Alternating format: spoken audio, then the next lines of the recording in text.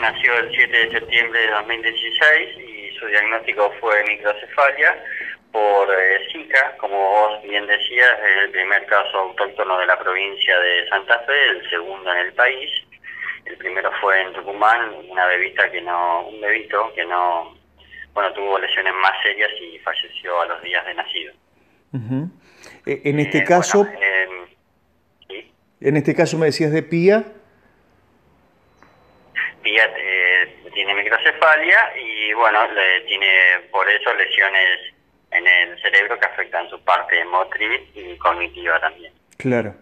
¿Esto significa, Freddy, que tiene dificultades para, para movilizarse?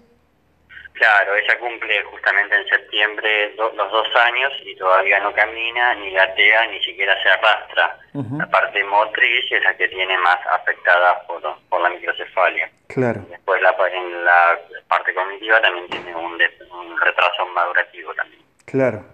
Ante esto, eh, se abre una luz de esperanza con un tratamiento innovador. Así es. Nosotros desde su nacimiento la llevamos a terapia todas las eh, todos los días eh, con kinesiología y incentivación temprana.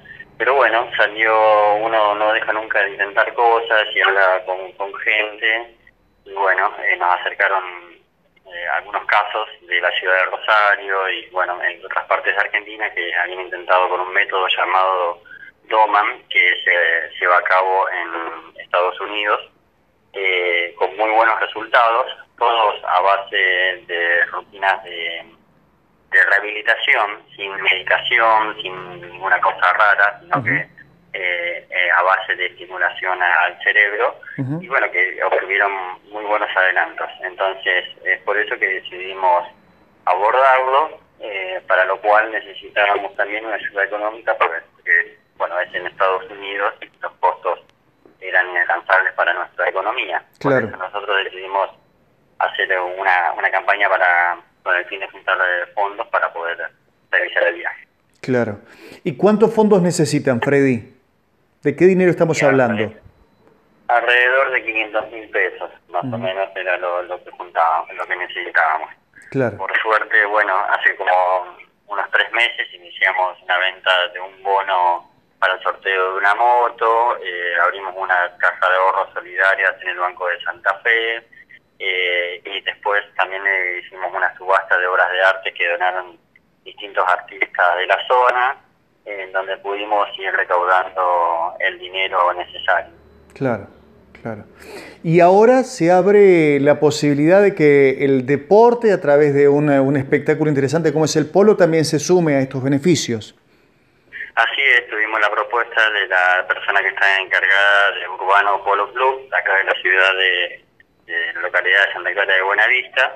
Eh, bueno, nos hizo llegar la propuesta de realizar una jornada de polo, incluyendo también en el marco de, la, de las fiestas, de los festejos de las fiestas patronales de, de Santa Clara, eh, hacer eh, dos partidos de polo, también va a haber unos peloteros para niños y también va a actuar la banda de la policía de la provincia de Santa Fe. Bien. Eso se va a realizar el, el sábado este próximo, el 11 de agosto, a partir de, la, de las 13 horas, ahí en el predio del Urbano Polo Club. Bien, perfecto. ¿Y cómo puede colaborar la gente de San Carlos que quiera acercarse? Eh, este sábado asistiendo va a haber una entrada a beneficio de PIA de, para mayores de 50 pesos solamente, como para hacerlo accesible también a, todas las personas. Claro, claro. Pensaba qué buen gesto también, ¿no? Que todo el mundo quiera sumarse a, este tipo de campaña. Eso habla bien de, un reconocimiento que hay a todo el esfuerzo de la familia por salir adelante. Sí, es increíble el apoyo que tuvimos de parte de la sociedad eh, realmente yo no esperaba que, sea así, no, no por prejuicio ni nada por el estilo, sino porque uno no toma magnitud ¿no? del alcance que tienen estas, estas cosas. De hecho, nos llovieron propuestas de todos lados ofertándonos distintas, no sé, mano de obra, a, hacer beneficios de distintos tipos, eh, sorteos o lo que fuera. Lo que fuera. Realmente no tuvimos que levantar el teléfono nosotros nunca más que para atender eh, ofrecimientos. Bien, perfecto. Bueno, y en el marco de todo esto, entonces el sábado que viene podemos colaborar, eh, eh, vemos un buen espectáculo y, colaboramos con PIA. Pasa, exactamente, pasar una linda tarde en familia, ya como, como te comentaba, va a, haber, peloteros, aparte de los partidos de polo, la banda de Santa Fe, bueno, va a haber un servicio de buffet para quien quiera comer ahí, va, creo que también van a vender tortas y ese tipo de cosas como para se puedan llevar el mate también y bueno, pasar una linda tarde en familia. Bien, y un espectáculo distinto como es el polo, que no siempre uno tiene la posibilidad de, observar, ¿no? De apreciar.